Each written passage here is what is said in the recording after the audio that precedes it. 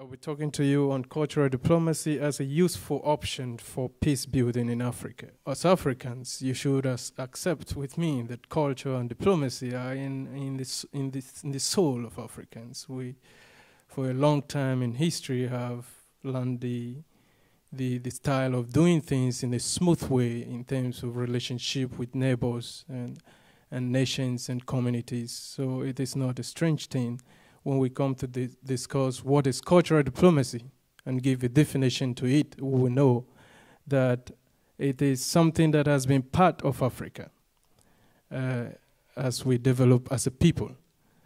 And uh, within the, the last 50 years, um, Africa has developed politically and economically so greatly, and uh, the UNDP commends Africa and the road that since the independence movements in 1960s, Africa has had the highest number of countries operating on the democratic systems.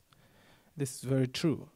And uh, that gives hope for Africa because in the next, if we count, if we add another 50 years to Africa, we think we should be proud that we have a future, that uh, our people will become more democratic and uh, relationship building and and uh, our government uh, rulership will, will improve in terms of democracy.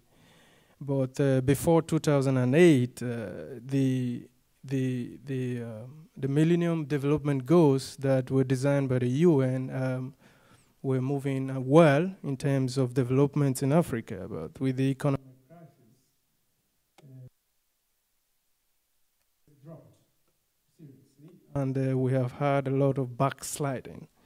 So um, global financial crisis had major impacts on developments across Africa, slowing down the rate of uh, poverty decrease. And the World Bank and the IMF estimate that by 2015, poverty rate we, we, uh, which um, was estimated to be dropped by 36%, we go up to 38%. And the, the, the additional 2% translates into 20 million people being lifted out of poverty. So, and we have had a lot of uh, environmental challenges and um, climate change impact on Africa. And um, it is it is sad to to hear that if this trend continues, um, you know, if this trend continues, an additional six million people in the region in the region of sub-Saharan Africa will have to suffer a lot of diseases and, um, and epidemics and, and agricultural losses of up to, to 26 billion US dollars in 2060. And uh, beyond these uh, economic and environmental factors, the African continent suffers a lot of multiple conflicts and this is this is the issue we are discussing. But um, um, and uh, it is sad again to hear that uh, uh, um, out of the 55 countries, I said 55 countries in Africa because I include. you hear from the first speaker, we is my professor, and we have had a lot of exchanges and arguments on who who is an African, and so I include Morocco as an African country. And I'm happy that my friend here was able to, to say proudly that uh, Afri- uh, Morocco is an African country. So we have 50, 55 countries, and only six out of the 55 countries are, are, are not um, are free of conflicts. So it's not an impressive uh, news. So we have to develop uh, new methods of dealing with peace, especially uh, dealing with conflicts, especially post conflict building, uh, peace building processes more than what is already um, on, on, ground. Uh, it is on this note that uh, I would propose cultural diplomacy as an option for, for post-conflict uh, peace building. And so we now have to understand what is cultural diplomacy. Cultural diplomacy, um, according to Professor Kishore Chakraborty, the first person that gave a lecture today, he defines cultural diplomacy as the use and sharing of cultural products, practices, and interactions to influence other nations or cultures for mutual understanding and problem solving. it is very difficult to discuss diplomacy without stating the intention for diplomacy because the, the diplomacy suggests reasons why you have to engage somebody. You, there, there, are, there are always, uh, and uh, oh, if, if you have to consult all the literature on diplomacy, you see that communication, negotiation, mutual understanding, peace building uh, form the, the main characteristics of what diplomacy is. So um, if we if we agree on the on the on the premise that uh, the diplomacy culture and diplomacy are the soul of the African people, we have to understand uh, what is Africa and who is an African. And uh, I got a definition from the American Heritage Dictionary, which uh, was revealed in 1999, and uh, uh, the dictionary states that Africa is the second largest continent in the world, connecting Asia by the isthmus of Suez, lying between the Mediterranean Sea, the Atlantic Ocean, and the Indian Ocean. And on this point also, I disagree with my professor that uh, Libya and Israel and Iran, Iran or Iraq are not part of Africa because if, if we take this definition seriously, that gives a picture of the geographic, the, the, the, the, the geographic mapping of Africa. We cannot consider these countries as, uh, part of Africa. We have had a lot of troubles already. We don't want to take more from. so, uh, but uh, coming to the definition of who is an African, it becomes very problematic to accept what uh, what uh, what what qualities or what futures should define an African. It's difficult to say it's an African. We define an African based on skin color. And then uh, it's difficult to say somebody from Morocco is an African because he has a white skin. But I'm from Africa and I have a black skin. So if we define an African just by the skin color or by the race, it's, it's, it's not sufficient. Or you define an African by the contributions he has made to the African continent. And there are people who are not giving the intelligence, they are of course Africans, they are not giving the intelligence or the worth or, or the knowledge to make uh, contributions to the developments in Africa. So when people define an African based on contribu- the contributions of, of, who an African is and what he has contributed to developments in Africa, is I think rather uh, insufficient. But uh, we can def- define Africans by our shared history, of course. But maybe other factors can can add up to that because we have a shared history. But of course, we know that. Uh, the, the top five countries. I will show the, the next slide will be the map. Maybe I should just go there. The top five countries there Morocco, Algeria, Tunisia, Libya, and Egypt seem not to uh, accept fully that they are the Africans because they have they, they share some kind of cultural values with the Asian nations. So it's not sufficient, of course, to dis discuss, uh, to, to define Africans based on our shared history and uh, common cultural values or language because we have, in Nigeria alone, we have about 250 ethnic groups speaking about 500 languages. So who is an African if you have to speak uh, um, in French and I have to speak in English? Uh, this is not our original languages, or if I have to speak in Tiv language and you have to speak in uh, an Igbo language. So it's not sufficient. I define an African as, uh, or Africans as the historical people of Africa and their, descend- their descendants in the diaspora who share the same or similar cultural values. And uh, I, I, got a quotation from Chester Higgins, he's a poet and uh, and uh, a photographer who wrote that we are not Africans because we are born in Africa, but we are Africans because Africa is born in us. So when we have the, the, the thing about Africa, that culture and the history that makes us who we are, then we we make um, we give a picture of who is an African. So this is the map of Africa. You are you may be familiar with this map, and I, I brought it here to to point out the fact that Africa is uh, is is the is the only continent in the world that is gifted with with the environment surrounding it and within it to give us all we need to make a lot of progress. We have diverse people with diverse cultures. The, we have the seas around us to, to enhance our economy. And we have a lot of things. The cultures, the culture of the world is embedded in Africa.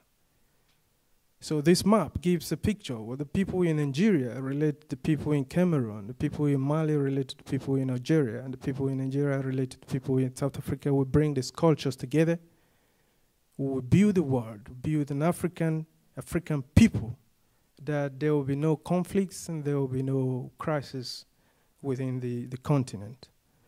So what is the what is what what are conflicts and what what, what is the nature of conflicts in Africa? Uh, I took this uh, definition from um, uh, a very renowned professor and uh, His Excellency Yasaya who said a conflict is a divergent ap- approach on an issue by two or more parties. And this divergence or disagreements may persist for a relatively long time before resulting into a confrontation. I, I will rely more on the second part of this definition because the the, the, the, the armed com- confrontation actually represents the, the, kind of conflict that um, uh, we are looking at because we can disagree on an issue and have a conflict, but that will not uh, be suffic- sufficient conflict to engage us in, in exchanging uh, arms. And uh, I got this record from the, the UN uh, statistics uh, on, on Africa that between 1968 and 2009, more than 42 wars were fought in Africa, and the vast majority of them were intrastate conflicts. So, and this map shows the the number of conflicts within Africa compared to the rest of the world. You can you should you should focus on the blue portions of the and the light blue portions of the within Africa. We have Mali, Nigeria, Cameroon, and um, Libya, Egypt, Sudan, Uganda, and Congo, and uh, Somalia and uh, my doctor is going to become uh, uh my, my doctor friend is going to become the president soon and i told him in the in the train that he should have an agenda to solve the situation of conflicts in somalia so this is the situation we have and we have to propose a, a method that we have to deal with this situation uh, we must not allow it uh, to, to, the peripheral systems that already exist that doesn't uh, deal with the roots of the, uh, you know, the, the causes of the conflicts in Africa. So, uh, there are two types of conflicts in, in Africa the, in, the interstate conflicts. You mentioned this in your speech. I was happy to hear that. And uh, we have the intrastate conflicts. And uh, it, is, it is it's good news to hear that in the last 20 years we have not uh, had uh, these intrastate conflicts. And they're usually between states, the parties that are clearly defined. They use the uh, military to engage. Uh, uh, to engage each other, and uh, they, they, actually have conflicts based on on on disputes based on border issues. And then we have the intrastate conflicts, and the parties to this conflict sometimes are not easily identifiable, and the conflicts between conflict between state and non-state actors or conflict between state uh, non-state actors. So and they involve uh, civilian combats. They, they target some most of the time they target civilians and sometimes the government. And this is what Africa is suffering now. Africa is, is suffering. Uh, the community, one community fighting another community, or one one ethnic group fighting another ethnic. Yeah, so what are the causes. We're going to look at the challenges and we'll discuss how we can develop um, uh, the, the, the theory of cultural diplomacy as a working tool to deal with um, conflict, the post-conflict peace building in Africa. So, um, what is peace building? Peace building is a gradual process of creating and renewing friendship between two parties in both pre-conflict and post-conflict times.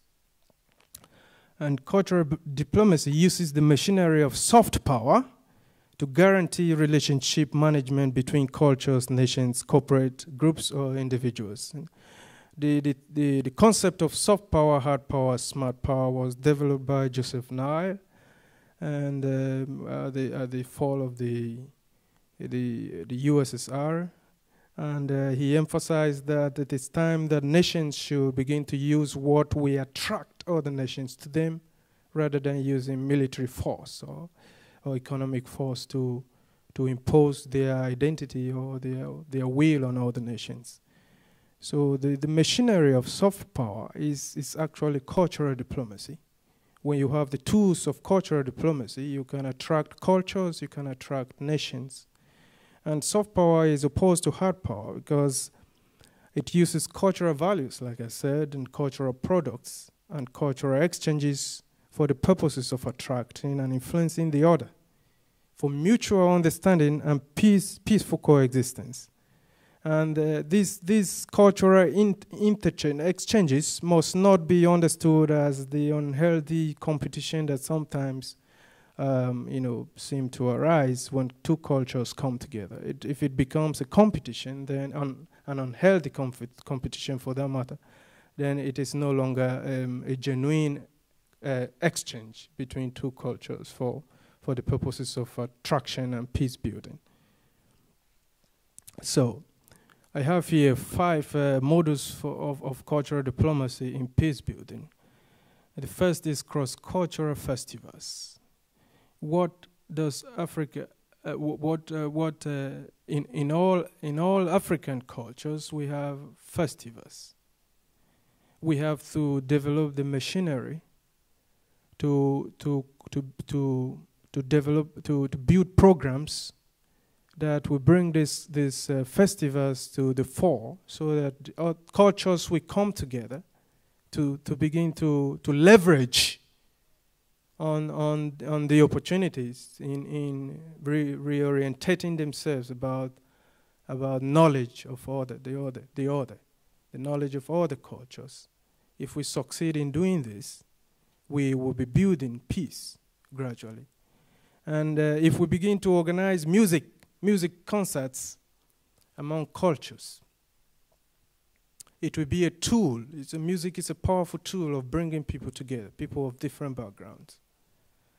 When we have musical contacts, we have uh, musical concerts, we have uh, we have artists from different backgrounds coming together and creating a forum for for interchange or developing programs that uh, could become exhibits for for uh, you know, a common initiative. And when we have arts exhibitions, when we have and trade, it's not just uh, exhibition and trade, we have trade to be able to buy the, the, cultural artifacts of other cultures, to have something of the other with us. It keeps, it renew good memories and good relationship building and the exchange of two students. I am from the middle belt of Nigeria and I went to study in the west of Nigeria. And while I was there, I, I understand that the people of the west, uh, they have the impression that those of us at the middle belt, when we want to go to school, we have a tendency of going north. We, don't, we are unlikely to come north, uh, south, uh, west of Nigeria. So it was very impressive to interact with them and to change misconceptions and to have them understand that we are all one people, one Nigeria. So when students are exchanged in programs like this, and if these programs are defined and developed and made into, into policies, it becomes very easy to bring cultures together, to build a, a mutual understanding, and to, to, to correct misconceptions and uh, sports.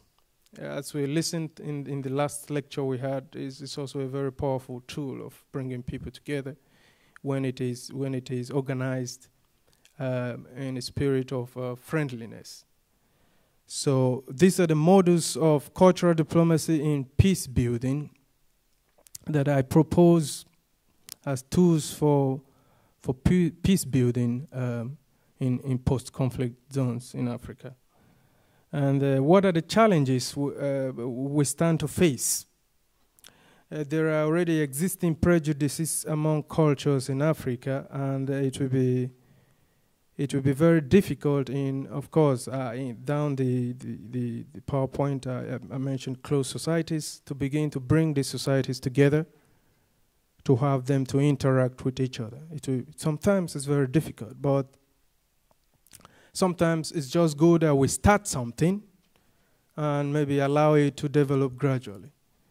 And uh, there is cultural contestation. What do I mean by that? when you start a program that uh, have to uh, that, that has to involve other cultures, uh, every uh, people seek uh, representation. Every culture wants to have a presence in a program, and uh, sometimes it's, some some members of the the other cultures may not be well qualified, but you have to to devise a method of including them somehow. Mm. So this may be a problem in trying to establish programs of cultural diplomacy as an option for peace building. But if we, if we have a program that we attend to a situation of cultural contestation, we make a foot, at least uh, for, for a start. We have a problem of poor leadership and chronic underdevelopment in Africa. And uh, it is very important to note that sometimes uh, before you are able to bring cultures together, you should be able to meet uh, the, you know, their basic needs. Uh, we have poor leadership. We, we must accept that, but uh, it, it's, a, um, it's a condition that is changing. And if we're able to, to deal with underdevelopment in, in, in most parts of Africa, it's easy to bring cultures together to have them interact.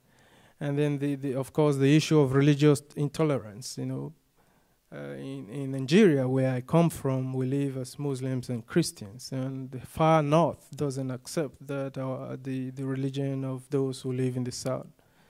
Uh, Christian religion is not a good religion, so they have to fight each other all the time. So how do we deal with this? I've, I've talked about uh, traditional and closed societies already. And then, of course, the issue of terrorism, uh, which has spilled over to Africa now and has become a big issue to deal with. What are our prospects? Economic growth and prosperity, peaceful coexistence, good governance, infrastructural development, globalization, and unity. And I conclude that uh, it is time for every government in Africa to establish an independent administrative institution for cultural diplomacy. And of course, where such does not exist. And these institutions will be, will, will be laden with the responsibility of creating explicit and structural pro uh, programs for unilateral and interstate cultural exchanges in each nation in Africa. I say unilateral first because, of course, charity begins at home when we are able to unite the cultures within a state, then we'll be able to unite the cultures across the state. And cost and corruption should no longer be an issue because these are the, the, the facts we have to face. When a program like this has, you know, is, has to begin in Africa, we give excuses of, of, of uh, non-availability of funds and how corrupt our leaders are. But I think corporate organizations should begin to think independently on how this can be pushed to the appropriate authorities for uh, something to be done about it. So uh, thank you very much.